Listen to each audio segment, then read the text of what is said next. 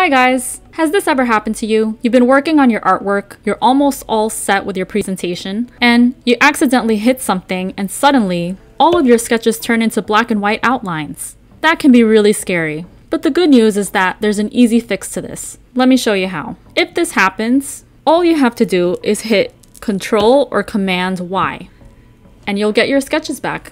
It's that easy. Chances are that you accidentally pressed Control or Command Y, which caused that to happen, and just by knowing that command and pressing it again, you'll be able to get your artwork back. You can find that function in the View menu.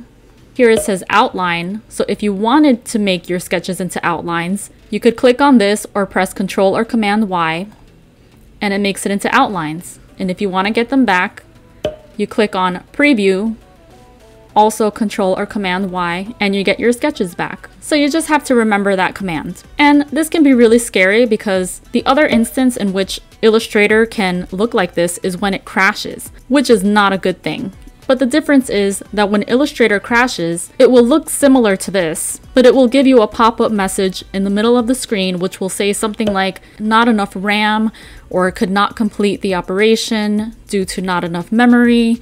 It will give you a message letting you know that it crashed. So as long as there's no message in the middle of the screen, just press Ctrl or Command Y and you'll be able to retrieve your artwork. Hope that helped. If you found this useful, please like, share, and subscribe, and see you on the next video. Thanks guys!